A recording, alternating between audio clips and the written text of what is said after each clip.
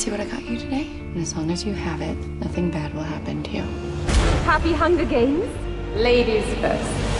Primrose Everdeen. No! I volunteer! I volunteer as tribute.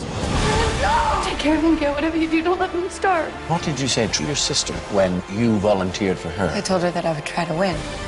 Make sure they remember you.